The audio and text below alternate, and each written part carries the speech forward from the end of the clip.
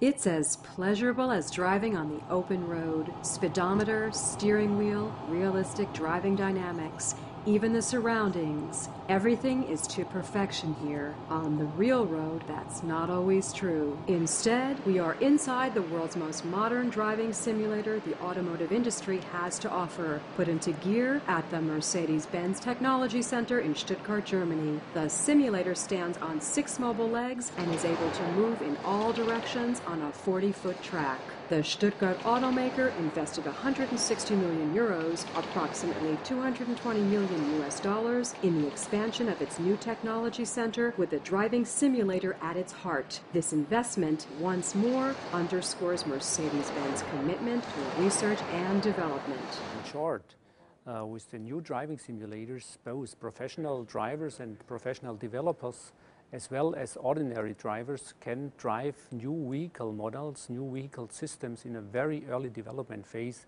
even long before real hardware prototypes are available. A connecting bridge leads to the cockpit of the simulator where you encounter a real Mercedes-Benz. Linked to a direct data connection to the control center, all information is directly fed into a central computer. Acceleration, braking, and steering. Everything is recorded.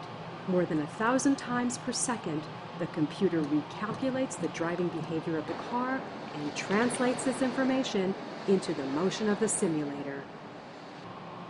Additionally, there is a 360 degree screen which allows traffic to be realistically displayed. In the control center, all information comes together. Here, people are able to animate the driving maneuvers, control the simulator programs, and communicate with the driver. Could you speed up to 70 kilometers per hour? You reached 70 kilometers per hour. Please accustom yourself with the simulator and now let's drive a lane change. The simulator is capable of translating driving dynamics one to one, including calculating the centrifugal force connected with such driving maneuvers. Okay, you're doing well. So let's drive some lane change maneuver. The new driving simulator can recreate highly dynamic driving situations more realistically than ever before. This allows Mercedes-Benz to study the behavior of the driver and vehicle in different driving scenarios. Besides researching classic driving situations, the simulator is also used for audio tests and research into driver assistance systems. For example, the simulator carefully studies car noise and vibrations so as to bring about a smooth and comfortable ride. In the future, we will enhance these uh, research activities and for example, we will answer the questions how we can support our customers at road junctions or during lane changes or during uh, nighttime drives so that they always uh, reach their destination safe and relaxed with their Mercedes cars.